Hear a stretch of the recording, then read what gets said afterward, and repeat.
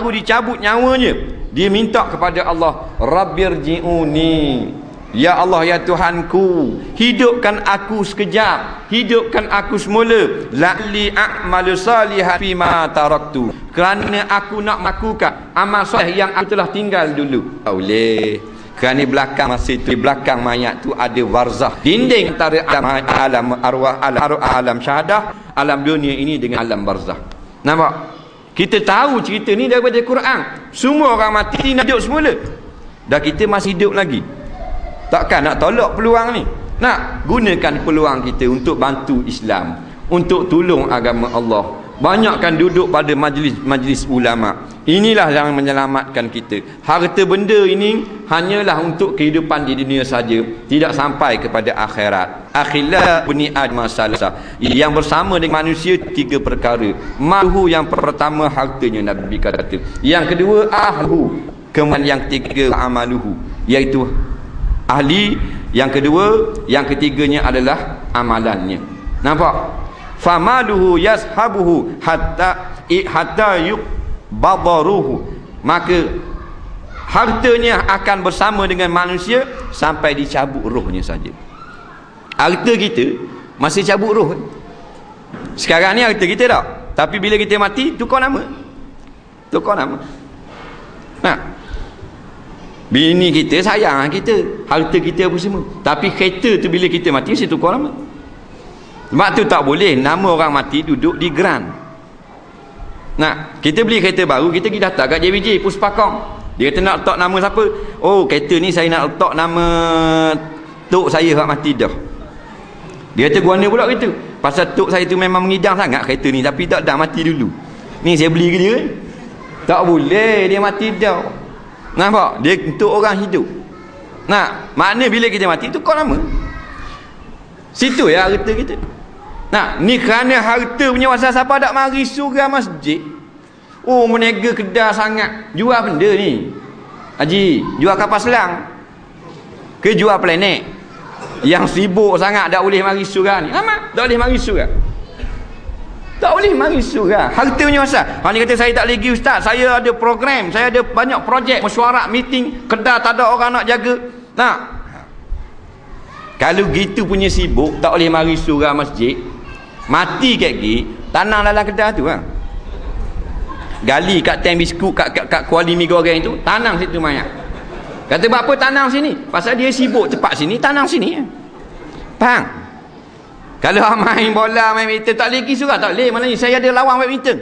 Dah kemarin kemarin saya training. Minggu depan ada ustaz ni eh tak boleh tak minggu depan saya pergi ni pergi Pahang lawan badminton kau ha, tanang kat kok badminton mayat jangan buat waktu nesang buat raket dua Faham?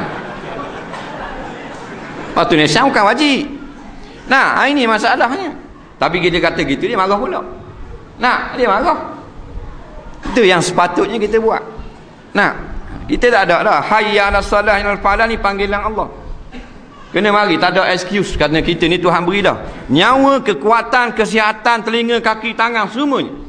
Ada kaki boleh melangkah, ada tangan boleh menjamuk, ada mulut boleh berkata, ada mata boleh melihat, ada telinga boleh mendengar, ada nafas boleh bernyawa. Tiba-tiba tak balas budi Allah yang begitu banyak, kurang hajar kepada Allah, Allah panggil pun tak mari, ulama panggil pun tak mari, ha? Otok bila pun panggil pun tak mari, tapi kalau dunia panggil cepat-cepat pergi. Yang cari makan saja jadi driver lori sampai kota baru cari makan punya pasal nak ha, kerja punya pasal dalam jam tak apa. Peluh ni muka merah macam udang kena bakar. Tak apa seratus ringgit dapat hari ni. Tapi kalau sebelah rumah je orang panggil mari kuliah. Tak datang. Kereta bukan sikit. 2.4 2.4 cc. 1.8 1.8 1800 cc. Tak boleh mari surah. Boleh pergi ni kulai boleh pergi air tang boleh pergi muar boleh pergi pontiang cari makan punya pasal sama macam apek kat kedai basikal. Nah sama macam Cina macam Hindu macam Kristian macam Majusi. Tetapi dekat rumah saja masjid tak boleh mari. Padahal kalau dia mari masjid tak bukan sampai 40 km bukan sampai 1000 km hak dia cari makan. Nah tak habis minyak pun tol tak ada. Antara rumah dia dengan surah tak ada tol. Kalau letup kena bayar 800 ringgit dia tahan kira tak pergi surah tak pergi masjid tak, kena wallet tak wajah start pun kereta dia. Dia masuk dalam kereta dia jatuh handbrake je. Gostang sampai masjid. Ha. Dah habis seseng pun. Nak? Tak boleh mari juga. Ha? Dah bila nak mari? Bila mati? Anak pergi masjid, mana Tok Imam? Boleh pergi rumah kejap. Buat apa pula? Tak tahu ayah tu mata nampak oh, hitam tak ada lah tinggal putih saja. Apa pasal itu tahu? Rasa-rasa nak mampus. Ha. Ha. ha gitu senang baru berhenti bahasa. Barulah nak mari nak panggil orang. Ada yang mati baru mari masjid. Mati baru mari. Oh hebat something tu ha. Ni memang something tek minyak sungguh. Nak mati bubur dalam keranda dalam kotak buat mari. Dah lah mati baru mari. Duk depan pula. Oh. Ha dia punya something. Nak dah mu mati dah duduk belakang ha.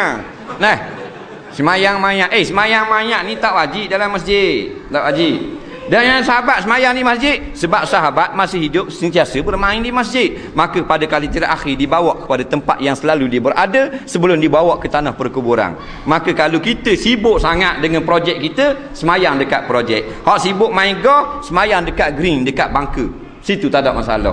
Hak sibuk sangat maknanya dengan sokang, semayang kat tiang go. Tak ada masalah. Tak, ha, dia lagu tu. Jadi kita betulkan balik. Allah Ta'ala ha, bukan makna semata-mata bila kita semayang lima waktu kita dapat masuk syurga Allah. Islam ini dengan empat. Yang pertama ibadat. Yang kedua muamalah. Yang ketiga munakahat. Yang ketiga jinayat. Empat-empat ini barulah sempurna Islam kita maka layaklah kita dipanggil Islam yang sempurna. Semua perkara kita tunduk serah kepada Allah SWT jangan kita ha, menedulukan apa benda yang apa benda ni perkara-perkara ciptaan manusia nah, kerana apa juga ciptaan manusia yang bercanggah dengan hukum Allah itulah yang akan menjerumuskan kita dalam azab yang berkekalan. Sebelum saya mengundur diri nak menjawabkan beberapa soalan yang ada di depan